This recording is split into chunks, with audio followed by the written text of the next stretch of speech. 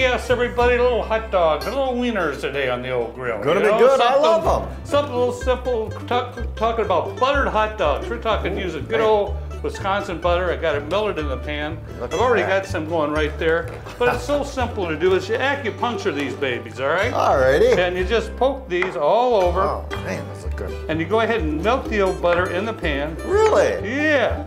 And then you go ahead, place those hot dogs in the pan, like we've done there. Place them on the grill, brown them up. They come out absolutely great every time. It's something you do way ahead of time. People Buttered go hot dog. Buttered Buttered up hot dogs. You go ahead and grab them. You go ahead and, Oh, and heat them up all man. the time on the old grill. Buttered dogs don't get any better than that. No, it's at them babies. Gonna be good. Oh, be good. Oh, oh, man. man. Just like my mama used to make.